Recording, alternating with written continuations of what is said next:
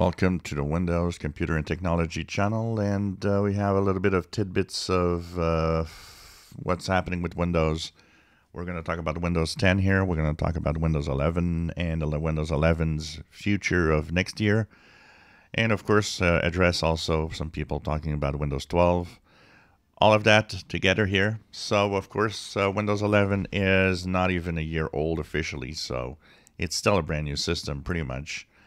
Uh, we are, of course, on the uh, track of getting 22H2, which will be the first version uh, update, the first feature update to Windows 11. We can call it Windows 11 2.0. That's coming up this fall, and that is official. Now, for 22H2 for Windows 10, a lot of people, still a lot of conflicts of people saying, no, no, it's not happening. Yes, it is. But what's curious is it's still not being tested anywhere. That kind of tells us that it's probably a very, very small update. There probably ain't much in it. So they're going to be like, you know, we're going to have this, probably this surprise post someday of, oh, by the way, um, you know, 22H2 for Windows 10 is here. And um, will contain probably a few little things, and that's it, and, and very little things. Um, if it would be a big update, we already would know because it would already be tested. I mean, we are in June, and for a release of a new version in you know September, October, it means it should be finished technically, and it should be being tested within the insider rings. Um, nowhere to be seen right now on any insider ring of uh, mostly the release preview where Windows 10 tests are still being done. So it's not being tested, but it's it's something that's going to happen. But don't expect anything special. Your Windows 10 operating system is going to pretty much stay the same and be the same after that update.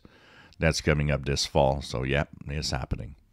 And one last tidbit about the future of Windows 11, and of course, the speculations that some of you are posting on the comments all the time about, well, Windows 12 is about to happen because Windows 11 is not loved.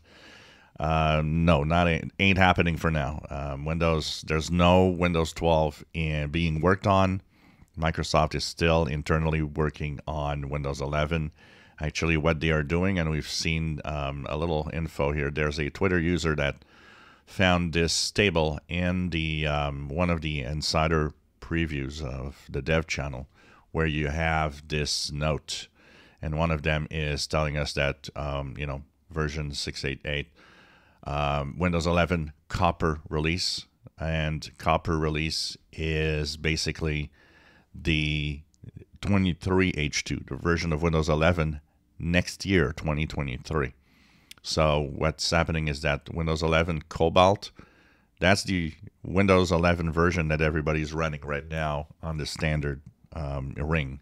You know, if you're using Windows 11 and you're not an insider, you have what's called a Cobalt release. The nickel release is 22H2. This is what's coming up this fall. Will be, of course, a new version of Windows 11 and copper release. And by the way, the nickel release is also what's being tested in the beta channel. And the copper release, 23H2, is what's going to be next year. So they're still working and they're working on, already working on 23H2 internally at Microsoft. So we know that that's where right now we're heading no Windows 12 for now doesn't mean Windows 12 will not exist someday. That is not what we're saying here. We're just saying right now it's not being, there's nothing being worked on that's Windows 12.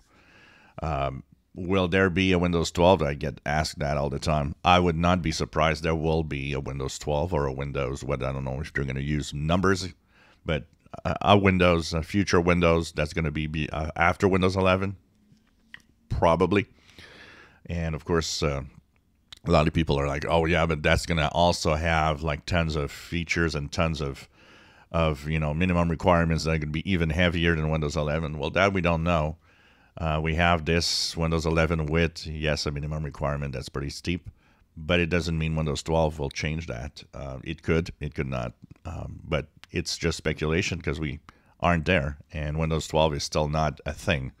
So um, that's for sure. We know only that 23H2 is a thing, which is the next version of Windows 11 next year, hopefully, with maybe a lot more improvements that people want.